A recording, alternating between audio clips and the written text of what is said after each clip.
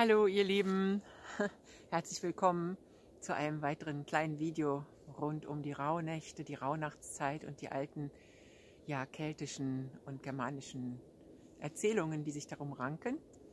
Ich habe dich heute im Wald mitgenommen zu einem ganz besonderen Baum und zwar zur Eibe. Ich weiß nicht, ob du sie gut sehen kannst. Sie hat diese typischen flach abgeflachten Blätter, die, also die Nadeln. Und äh, sie ist ein ganz besonderer Baum. Ich habe ihm zu Ehren, ihm zu Ehren heute auch ein kleines Lichtlein reingehängt, wie du vielleicht sehen kannst.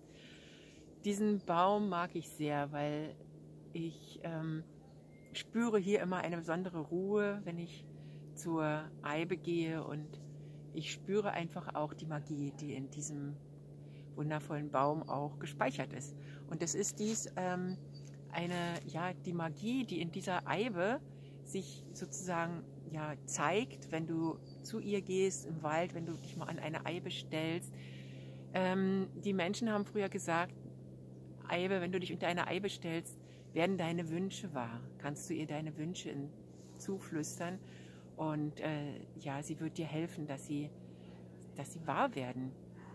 Die, die Eibe hat äh, auch ein ganz besonderes, ein magisches Holz.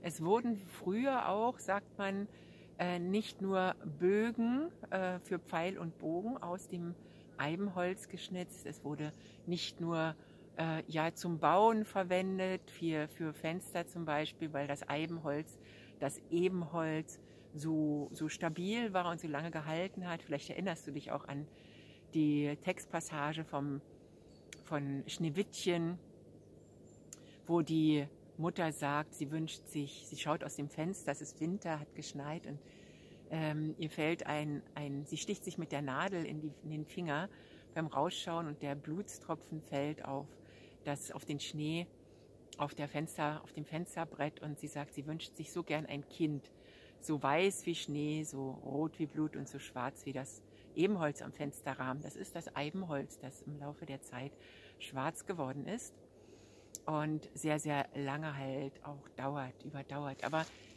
vielleicht noch, äh, was wurde noch aus dem Eibenholz, aus dem Ebenholz geschnitzt?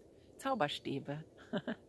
ja, weil, das finde ich so schön, weil das zeigt einfach auch, dass die Menschen sich einfach total bewusst waren der Magie, die in diesem besonderen Baum wohnt.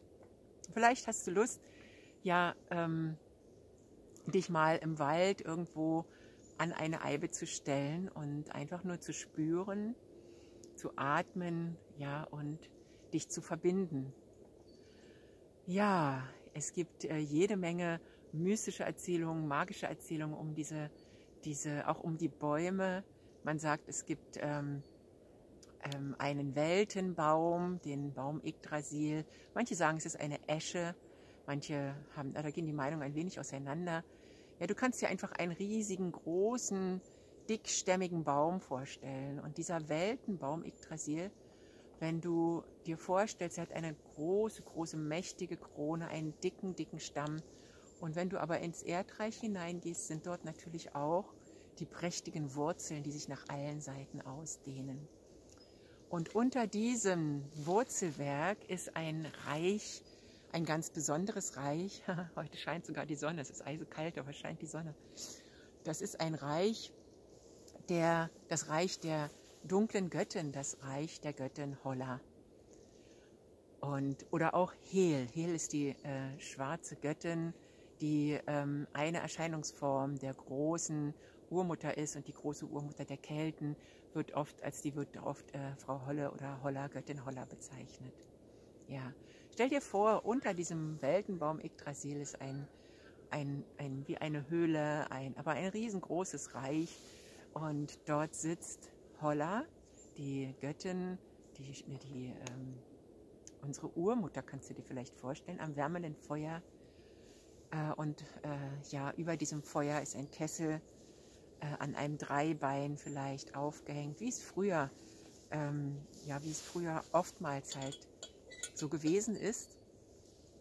Ich habe mal einen schönen Kessel mitgebracht. Ja, das ist äh, so ähnlich, kannst du dir das vorstellen. Er ist bauchig, wie der Bauch von von unserer, ja, von uns Frauen halt auch ist. Unser, ja, manchmal sehen wir es direkt im Außen auch. Wenn wir älter werden, ein bisschen ein paar Funde zulegen, dann haben wir so einen schönen bauchigen, ja, runden Bauch. Und ähm, aber auch wenn du schlank bist, hast du natürlich in dir so ein Gefäß wie dieser Kessel.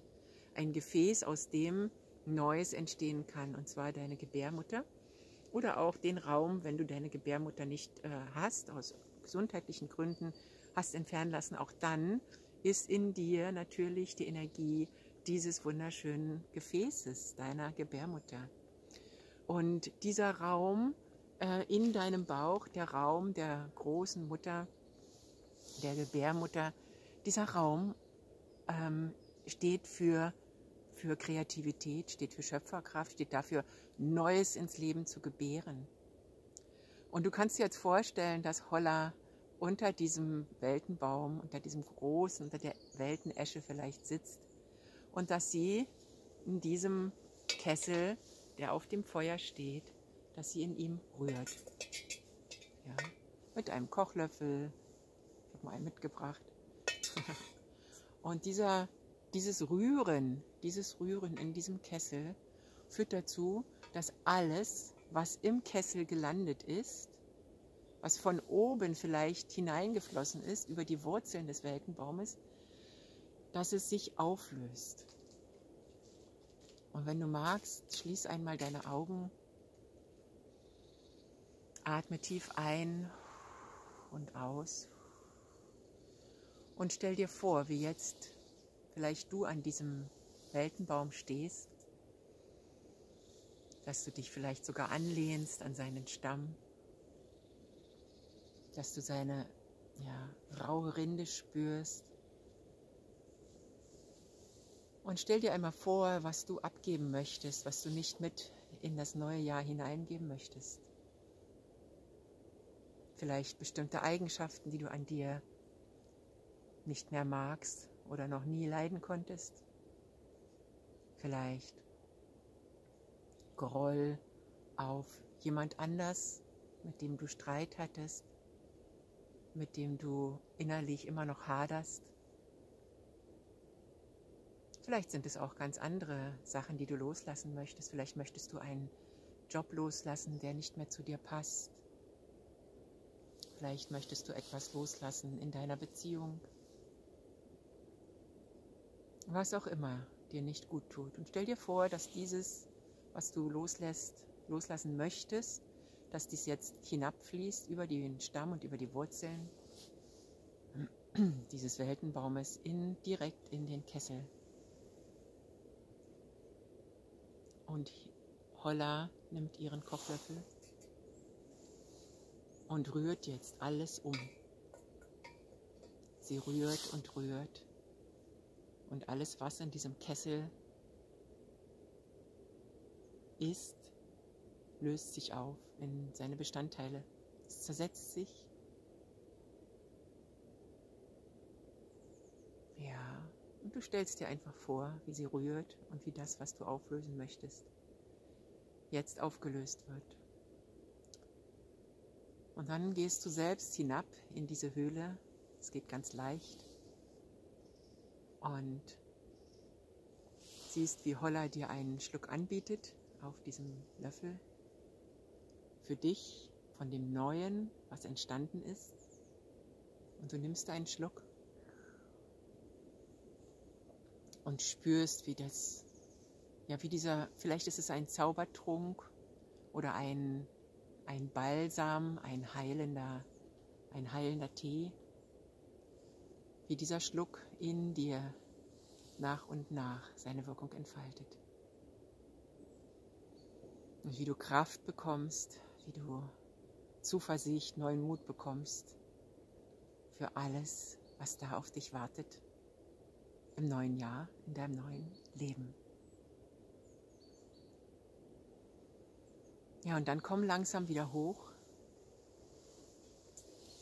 Ah, du stehst wieder an, der, an dem Stamm des großen, mächtigen Weltenbaumes und kommst jetzt langsam auch wieder zurück in deinen Körper. Kannst in deinem Tempo die Augen öffnen, nochmal tief durchatmen und Danke sagen dir, dass du dich auf diese Reise begeben hast und der Göttin Hel oder Holla, der Göttin, der Urmutter, die für dich in ihrem Kessel aufgelöst hat, was du aufgeben wolltest, loslassen wolltest. Ich wünsche dir eine wundervolle Zeit der Transformation und der Einkehr in den Rauhnächten und freue mich, wenn du meinen Kanal abonnierst und auch die Glocke aktivierst, damit du nichts verpasst und auch ein Like gibst. Alles Liebe für dich und eine wundervolle Rauhnachtszeit wünsche ich dir. Deine Susanne.